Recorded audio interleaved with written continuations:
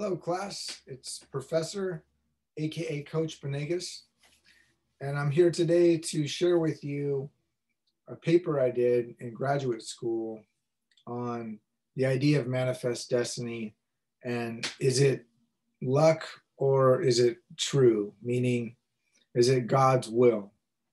So today I'm going to share that with you, and at the same time, I'm going to, I'm going to share how I wrote it and the process it takes to create a research paper. More importantly, how to not waste your time and to organize your notes to where when it comes to making your outline, your notes will be pretty much um, in, in line with what you're going to put in your outline and then write.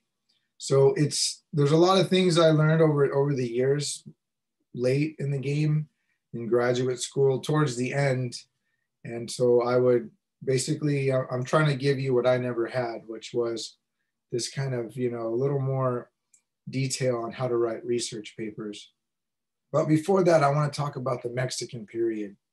So from a Kumeyaay, I'm a quarter Kumeyaay, Luiseño, and Cupeño. So when I teach and think of, of the Mexican period, I think of it differently than those in Chicano studies. So Rodolfo Acuna of, uh, of he's the one of the pre- preeminent scholars of Chicano history. He wrote Occupied America. So in that book, as well as The Crucible of Struggle, this is another one, Vargas. This is the one I use. It's a little less biased than Occupied America. Both great books. Um, is that they teach from the the Mexican perspective, and so from a Kumeyaay perspective, it's I think it's more. Uh, it, it takes into account the, the period before. And, and when it comes to the Mexican scholars, they just think about that one window. For example, the Spanish period was in this area was 1769. That's when Father Serra came and um, the Spanish period began. That ended with secularization um, in, in, with the Mexican Revolution in the 20s, 1820s. Um, secularization happened in 1833. So, but if you if you take the timeline of the end of the Spanish period to the beginning of the American period, it's only 25 years. So I think it's important to remember that. Um, so the this land was Kumeyaay, it was native territory for thousands and thousands of years, and all of America was. And these small periods we're talking about are just just the tip of the spear at a timeline. So it's important to keep that perspective when you're talking about whose land it really was. Um, but so that being said, so you have to start with the Texas Revolt of 1836. So what happened was there were more Americans in Texas territory during this time. So by 1841, 21,000 Americans lived in Texas. And this out they outnumbered the Tajinos Tejanos, excuse me, five to one. And this, this is a result of a terrible foreign policy by the Mexican government, which needed a buffer against Native American raids. The Apaches, the Comanches, the Navajo, um, mostly the Apaches, though, were basically terrorizing and creating these, these towns were under siege. And you maybe seen movies like that um, represent this time period. Um, so what happened was, so you have to start with 1836. So let's go to California now. So California had 6,500 to 7,000 Californios. And these were the, the landed class, the, the folks who basically gobbled up all the land after the Spanish left. And much of this land again was Kumeyaay, was was uh, Chumash. It was all these all these California tribes were were basically disenfranchised by this new in a way it was almost it was like a continuation of the spanish being here. So there's a lot of similarities between the spanish and the mexican period um, as well as differences. So with these californios there, there was a bunch of ranchers up and down california and this there was the spanish speaking cattle barons that were the were based their wealth was based on the exploitation of their Indian and Mexican workers. in a way that gave these ranches the feel of plantations. So there were serious working condition problems that almost represent, you know, what was going on in America at the time of these plantations in the South. So, like for instance, my my ancestors in this area were being exploited for sure by by the Mexican um, Californios to do you know grueling work for for very very little little amount of, of pay and very little rights. So it's important to remember that. So um, what happened was so as we're going on this time period so the 1844 campaign the, the, the most important issue of the time was the annexation of mexico. And polk who who won the presidency James K. Polk won on this ticket, on this message saying he was going to annex the, the Mexican territory all the way to the ocean. That was the point, because you wanted to get to the ports of Monterey and San Diego, and then that would open up the global market to the to Pacific. So this idea of manifest destiny was in the global consciousness at the time, but it was symbol, it was embodied in this term manifest destiny that O'Sullivan, he was a newspaper editor in Washington, D.C., um, to be sure. He was the United States Magazine and Democratic Review of Washington, D.C., uh, what supported slavery, Indian removal, and war with Mexico. It articulated the prevailing, national sentiment of westward expansion.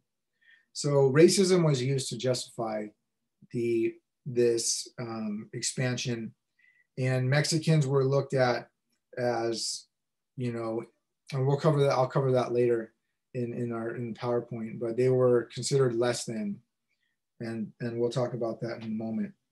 So what happened was, the the Mexican War was a manufactured war. So it, it just to put it simply, in in Texas there was this region where there there were two rivers and one river was the Nesis, and one was the Rio Grande. I'm probably butchering that first river's name, but the the point was is that this there was this really fertile piece of property in the middle in that area, and the the current territory boundary line was the Nesis River, and the Americans wanted to go all the way to the Rio Grande to get to the river, but also that fertile uh, land in the middle of the rivers. So what what happened was the, the president sent a bunch of troops down in the area. The Mexicans defended their territory, and the Americans uh, claimed that. Um, let me let me quote from the president. Excuse me. Let me find this. So Polk states Mexico has invaded our territory and shed American blood on American soil. So, yeah, that was this is what governments do over time. The Nazis were really good at this, by the way. Um, and so, yeah, so we were the aggressors. We were the ones that were on their territory. Yet we say, oh, they they attacked us. On and on. You know, this is this is ubiquitous in, in American history. Um, so it's just good to be aware of that. So as as this as the war ensued, uh, it's important to, to, to, realize who who was the main main players. So the Californios were the main players in California. And I'm gonna stick to California a lot today. I could talk a lot about New Mexico or Texas, but because of time, I'm gonna talk about California. But so one of the things that's important to realize is the economies to California and to the, to the East Coast were intertwined. So between the Mexican period of, excuse me, let me find my notes again.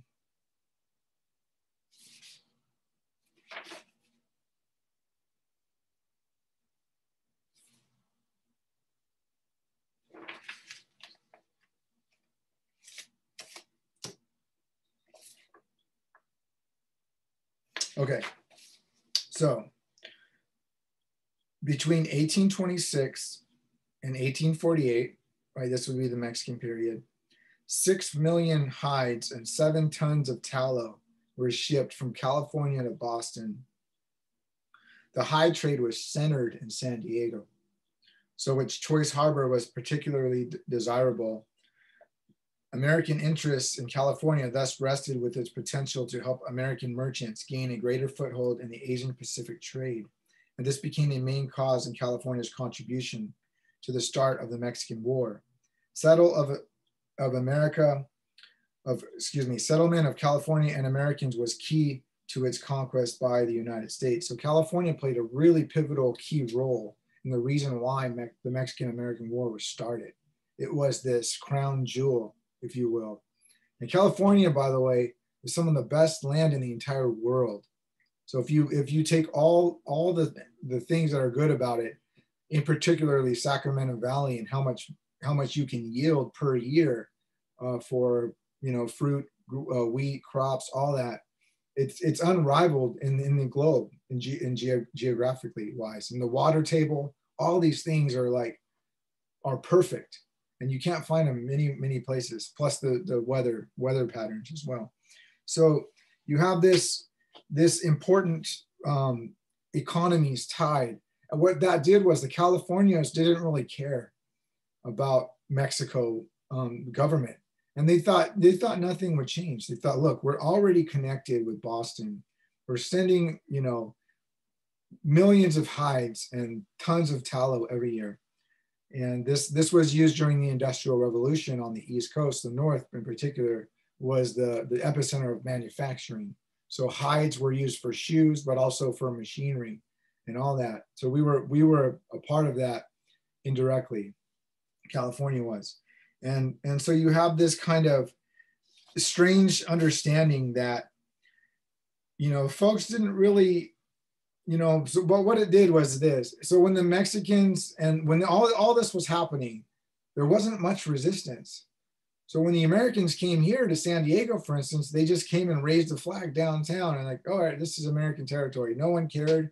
It was like a non-event. And that's kind of how it was a lot in a lot of the Southwest territories. This would be the northern ter- northern Western territories if you're looking at from Mexico perspective. So the regional economies were tied together, which this allowed, you know, almost no resistance in many areas. Mexican government was factionalized uh, with tenuous control in the northern territories. And many Californians thought nothing would be lost. The other thing to realize is Mexican, Mexican consciousness had a weak nationalism. So that's one thing why they didn't want to fight for a war. They, a country they really didn't feel a part of. So we, we're going to move on to, to, the, to the slideshow. I think I covered everything in this in my notes. And um, for now so yes, so I'm going to move on to my slideshow. And this is, and this is going to be a kind of a, a two birds uh, with one stone type thing. Because what I want to do is I want to show you how to read, uh, write a research paper as a historian. Um, so, so this this paper I wrote in grad school at USD in Chicano history was: Is it manifest destiny or is it dumb luck? you probably know what I'm going to, to, to conclude. So, but you know, that's the other thing, you know, when you're writing a paper, you, you can't just say something, you have to prove it with his facts, with historical facts. So it's important to have an opinion, but it's more important to back it up with facts. So um, I would like to demonstrate the process I use because uh, it's about content and the process is so important. So this is what it, how, how any any good research paper starts is it's with a question. So you want you want to know what a thesis statement is. It's it's a question and your paper is the answer. So thesis i know it sounds weird. It sounds it sounds you know scary but it's just a question. You know for for my um, master's thesis i did i simply answered the question is indian gaming good or bad? And, and so today we're going to ask, is Manifest Destiny a historical accident? So what you want to do is create blocks. Um, and so this is one piece of paper and I would do, um, you know, up here, I would put, these, these are the topics I want to cover. So is, is it an accident? Is it, his, is it a historical accident? Uh, some grand design or not some grand design, excuse me. Um, racial equality, geography, demographics. And so US destined to, to, to conquer the Southwest manifest destiny was limited. So, I mean, think this is kind of a little complicated in a way. Um, this is grad school material, but in, in a way though, think about these as your, your paper. So what, what, what cover, what topics are you interested in? And so you would put, okay, this is what, um, you know, I want to put something right here. This is what also want to find. But more importantly, you got to make sure these tie into answering your thesis statement.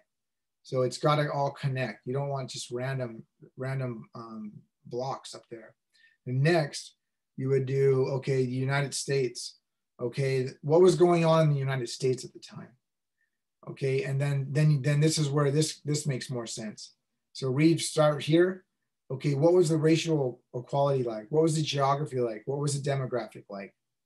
And then as you're going through uh, the, you know, as well as Mexico, you you you do the same. And so my so as you're as you're reading, your your your books or your articles you're plugging them in here. So you're not just wasting your time. You're not just writing notes. You're writing notes that actually are going to support your thesis statement. And so this is a big thing i learned in college rather late is you don't want to waste your time and the more organized you are the more you know uh, where you want to go the faster you're going to get there and I spent many, many, many years just writing terrible papers that were contradicting itself. And I wrote notes. I wrote everything I could think of on all my notes. And I was taking notes for just taking notes. And that's what you don't want to do when it comes to a research paper. You want to take notes that are focused on your topic and you will more or less use. Uh, and so these are the notes I used that will will show you later how it turns into a paper. So on the end, then I stood on the on the back. I, I also use the back with you know with the same square, and so say so you can use the other side of your paper. And the other thing I would suggest too is use maybe different colors. You know, I, I now I use more colors. I have like a whole pen color collection when I do notes and stuff like that. So you can do that. So you want to organize your thoughts, organize your notes in the categories and boxes, interact with your reading material, highlight, write notes in the margin, reread if you have to. That's a big one people don't do. Sometimes you have to read things over again. And, and that's just how it goes. You know, uh, I've had to read books for this class, you know, 10 times, you know, before I get it. And I'm still going to keep doing that. If you don't know um, a word, excuse me, that should say word. If you don't know word, look it up. That's the other thing I found very important early in my life is when I didn't know a word, I always had this little Oxford dictionary. I looked up every single word I didn't know. And, and um, now you can use on your phone, of course. So you can, and then here's the thing, you can create your thesis from your notes. So your thesis is your answer, right? Your your no your thesis is your question um, and answer. It's it's it's both. So it's the answer to your question. So to some extent, you can create your thesis statement from your notes. Uh, for instance, when I did my thing on Indian gaming, I said, you know, yeah, gaming is good because it gave us, brought us out of poverty. It gives us free education. It gives us housing, all these things and that's that would be from my notes. Okay you read all your notes. Okay this is the answer. Then prove it. Use in the categories as body paragraphs. So so you're creating body your body paragraphs will basically be your answers your you know like i said so um uh, it, we'll, we'll get to it right here with the outline. This is the body paragraph. So from the notes i created an outline. So this is the outline i used so so here's why manifest destiny was dumb luck. It wasn't God's plan. It was because um, okay, geography was a big one.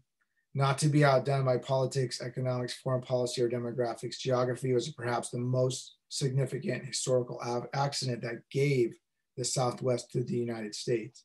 So that's what um, a book said, and I really, it, it's true Um, so that was one of my notes. And then you go to transportation, communication, all these things. So you you break it down into categories to prove your thesis statement: geography, demographics, politics, economics, racial equality, and foreign policy. You could write a book with this is if if I were to write a book, this is what I would do. You break it down into categories, and then these are your body paragraphs, or if it were a book, chapters to to, to create. So you're you're not wasting your time. You you have a, you have your blueprint, your template, and now you're just plugging in. Okay, what was here's demographics. The population um, grew from 3 million to 17 million by 1840. Um, that's that's that's uh, United States. This is one of the biggest population booms in, in history between that time. However, Mexico did not grow from 1810. Um, so there's there's a paragraph or two that you could write just with that alone. And then you're going to want to quote that source. So Rodriguez 17, you notice that? That's how I would quote, right? That's fine if you want to quote.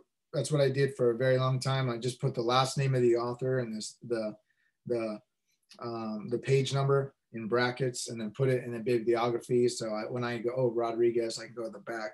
Most teachers are cool with that. There is something I want to, um, while, while I do this, so I want to share um, to properly cite, you use um, So this is the Chicago, uh, what is this called? Yeah, the Chicago Manual of Style, 16 edition. All right, so this is the Chicago style. They have MLA, and then in here you you have oh, see you come across web, the internet, all that. They have they have smaller versions of these. So there's a couple different ways to cite. As you climb the ladder to the to the upper you know, grad school, you're to have to cite like that. Um, that's kind of a um, most. I'm not really too care. I don't really care as long as I know where you got it. And but some students are, are teachers are pretty um, strict on that stuff. All right, so there's that. Oops. Um, research. What is the question? What is the answer? Your answer is your thesis. And so a thesis statement, though, here's one thing that bothered me in grad school was they want you to come up with your thesis statement before you do research. And I think that's ridiculous. I think your your thesis statement should come from your research. And I, I, I don't know why they don't say that in grad school, but it's the weirdest thing. And to me, it's such a it's such a common sense idea. It's like, how do you know your answer without doing your research? So start out with your question. Don't have an answer do your research, boom, there's your thesis statement with your research. Just a little pet peeve I had. So here we are. Let's let's, let's start with our, our little our, our presentation. So manifest destiny was a religious justification to take land. Most folks don't realize that, but many, many things are founded on religion and they're not religion's not given enough credit when many many things are founded on religion. Capitalism for instance was founded through the protestant work ethic. Max weber uh, found figured that out um, in the 1800s so uh, mexican war of 1846 and 1848 concluded with the signing of the treaty of guadalupe hidalgo um, that half of mexico would be ceded to the united states the United States experienced almost 100 years of war with Indians before the 1850s. And when California achieved statehood, they carried a lot of prejudice with them. The doctrine of manifest destiny was the ideological slogan used to justify the appropriation of Indian land and was coined by O'Sullivan in 1848. So the core of manifest destiny is this. The brainchild of manifest destiny had no regard for native inhabitants of North America and assumed the West was empty space. When they talked about it, it was like no one was there. At its core, the doctrine of manifest destiny is the idea that God ordained the white Anglo Saxon Protestant to move west because they were the most qualified.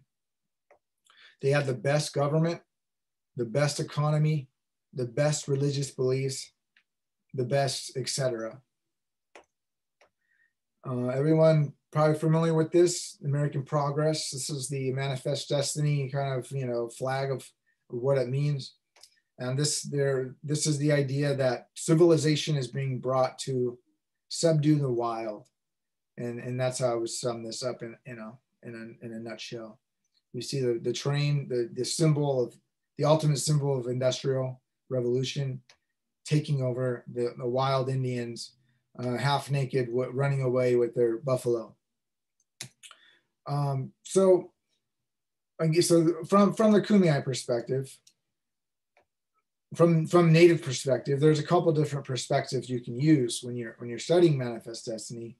But from the native perspective, which I think is the one that should be talked about most, uh, it propagated the displacement of Indian land, uh, land that was considered sacred, by the way, in the way that the Israel is sacred to the Muslims, Christian, and Jews were taken away at a rapid pace uh, during the American period.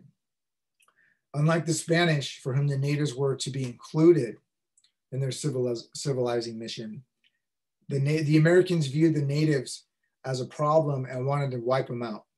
This is where the genocidal policy happened.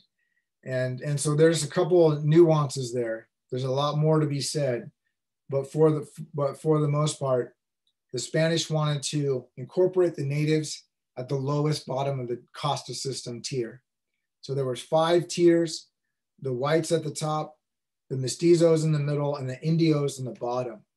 The natives wanted to incorporate the Native American population as citizens, but at the bottom tier of their society, if you know caste system or caste system in India. However, the Americans didn't want that at all. They wanted no part in American, uh, just like Abraham Lincoln wanted to ship all the Africans back to uh, Africa. Um, the same could be said uh, about how they felt about Native Americans. They wanted them to be gone, period. They didn't want to assimilate them, incorporate them into society until much, much, much later. Um, so here is the Treaty of Guadalupe Hidalgo.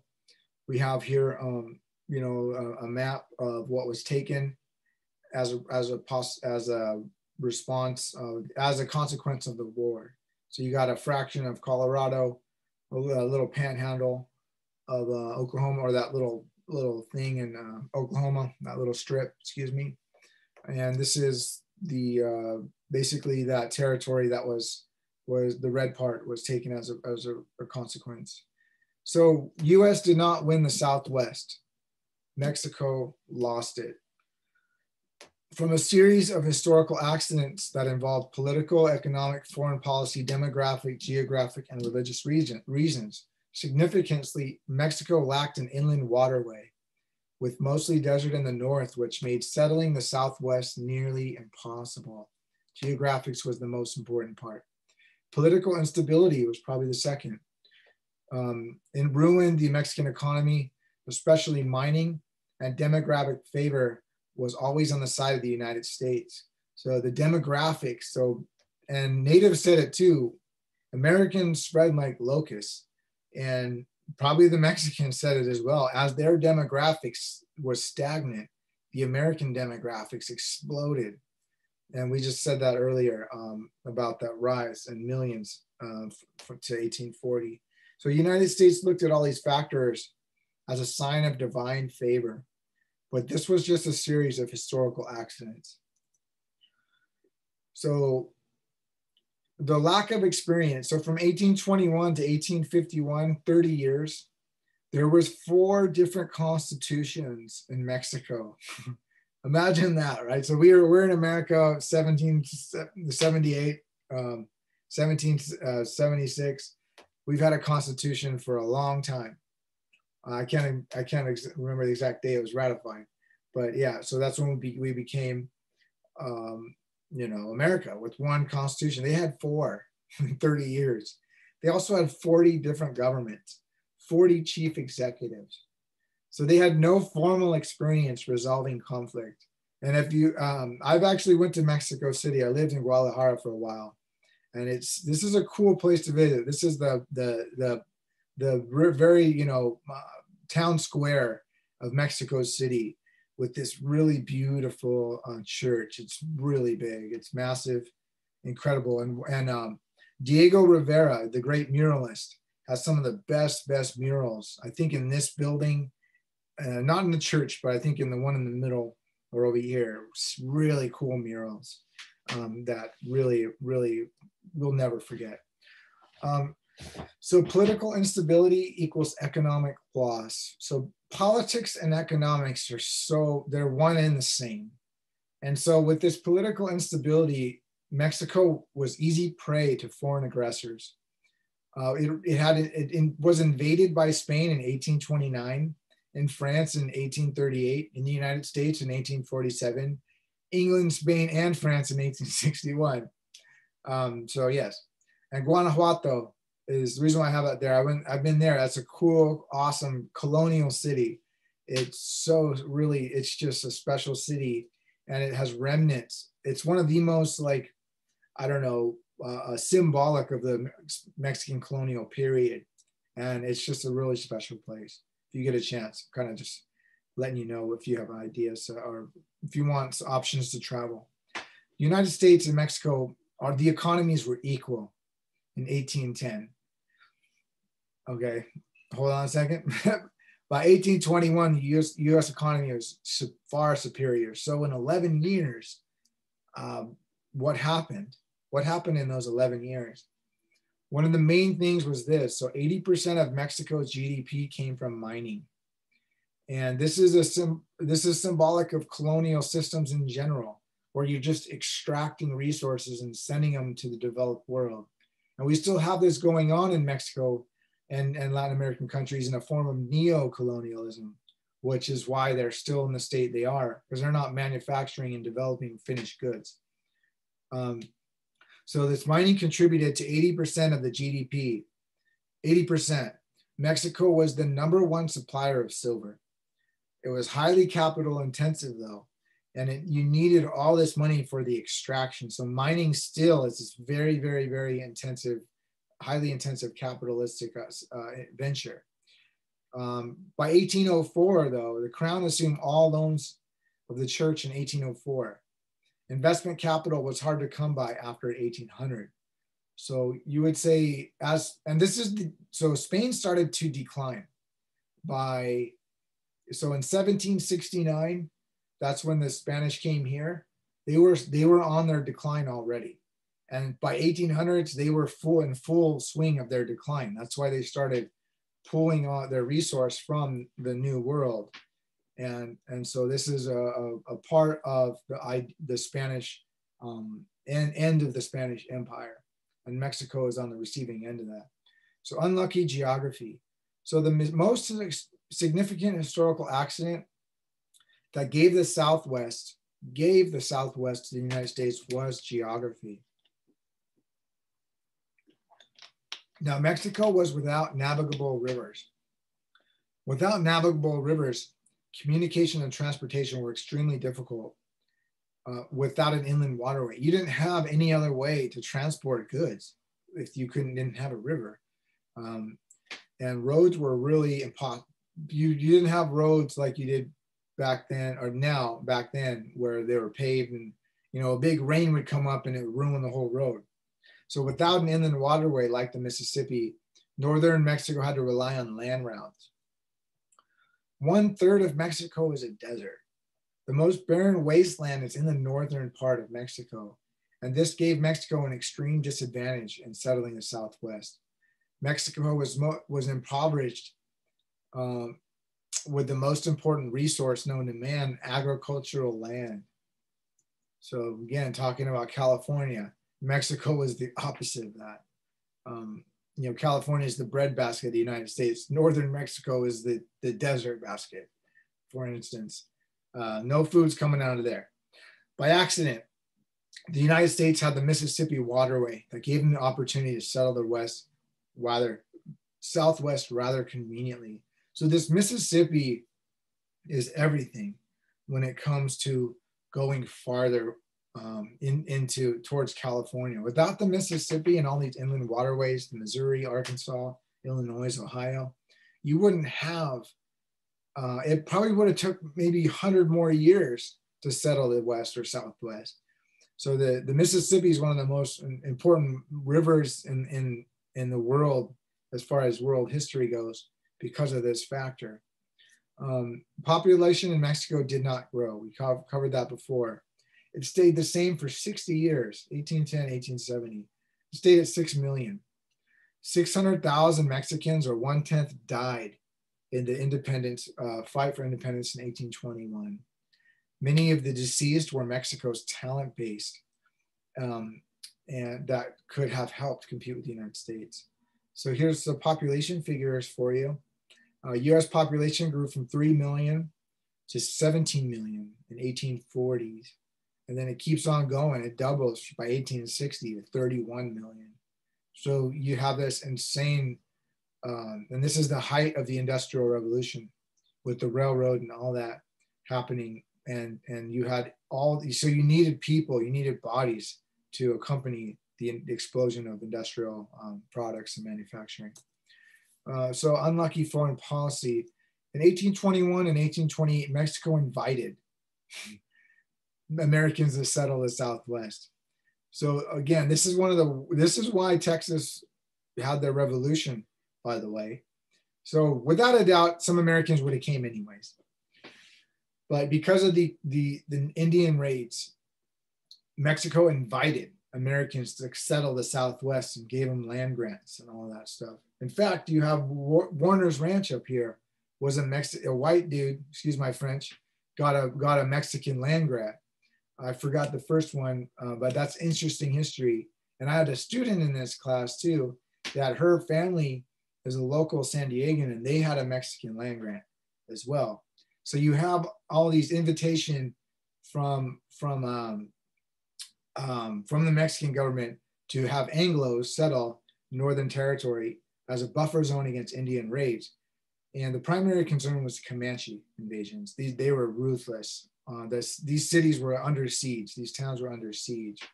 This, this would inevitably make the annexation of Texas inevitable because there were more Mex Americans to, Tex the, to Mexicans, Tejanos, five to one.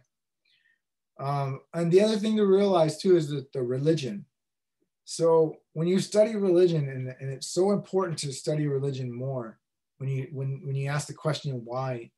So when, when it comes to religion, Mexicans were Catholics, Americans were Protestants, and they're very different religion.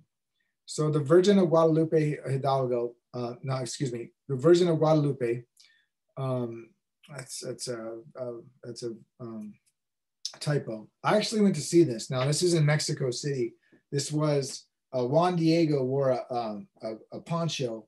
And the reason why this is important is because this is when Christianity comes to the New World. And the Virgin Mary is seen by Juan Diego. And to prove that it happened, this picture was printed, you know, by the divine God on, on him as after he saw her to prove that, that she was here. So that's if you're wondering why it's such a big deal, it's because before this, Christianity, all the revelations happened in the old world. And I'm using that because I don't really like that term. Um, we were actually, you know, our civilizations were just as old as over there. Uh, some some would argue, but in the old world, they did they all had all their all their special you know revelations. So here's here's a new revelation in the new world and that's why this version of Guadalupe, uh, Guadalupe is so important. But the church became a symbol of stability, not movement. And if you study Protestantism and Catholicism, Protestantism is all about movement and progress. So the idea of manifest destiny itself is progress and movement. Catholicism doesn't have that, it has stability uh, as its kind of anchor as far as its philosophical ideals. Um, the Anglos believed this divine favor that involved movement intrinsic in the manifest destiny doctrine. So religion played a very important moment. And this is uh, Max Weber, the Protestant work ethic. And I don't want to go stick too far on this, but what he basically stated was that the, the Protestant work ethic made work more godly and and this is something you know theological in the fact that it, it also it also if you think about it this way those who didn't work were less godly right? So you always got to think about things in the inverse. What did it feel like to be on the receiving end of that? So if you had this ethic okay what if others don't? Are they going to be judged? And they were as less than as a failure and this is where um, kind of the idea of the failure to settle the southwest reflected a lack of character uh, to the mexican population. So manifest destiny was really about land and and it was also about trade. So it, it justified the annexation of texas and finally the half of mexico. But really what it was about was getting to san francisco. That was the that was the ultimate goal of manifest destiny because it would open up trade to china and beyond and if you if you study um, current politics contemporary politics they still use it. Uh, trump used it in the state of union address manifest destiny to go to the stars to go to mars. So manifest destiny never never ends. Um so and this is the end of the the statement. Um it's kind of a little fun. You know i like having a little fun with my it helps me you know stay on track. So but what it really is about it's all about the benjamins. And if, and if harriet tubman gets on the $20 bill it's all about the tubmans you know what i mean? And but here's here's the moral of the story. And i got a degree in theology. I've studied all the religions of the world. I love them all but there's always this part of me where i'm like okay, that's not really what they meant, the original founders. And and a lot of the religion, um, what it boils down to is this. So people use politics, in politics, they use religion to justify things that are are not religious at all, like getting money and getting land. And manifest destiny is just another manifestation of that that unlucky uh, that that un uh, it's it's like an uneasy you know marriage between religion and politics where they don't make sense for instance uh, in the bible it says thou shall not steal right so uh, that they didn't pay attention to that one. Uh, the answer to many of the questions in history comes down to one word money. Now, I had, a, I had a professor that said that one time that the 99 um, and it was a cool thing to say the the answer to 99% of the questions in history it comes down to money. And land is the only real source of wealth and money that that we've always had and we still have. All these other things are going to come and go. Bitcoin maybe gold's going to fluctuate. Who knows what's going to happen to that. Um, currency you name it. Oil it's oil is going to probably we're not going to use that anymore eventually hopefully. But but land is always this this main focus of where wealth really resides. And that's what manifest destiny was actually always about. And they use the idea of manifest destiny and the justification of religion to take what they really wanted was land and so that concludes my uh, my my presentation for today i hope you enjoyed this i hope you can use this for your research papers and I will see you in about a week. Take it easy.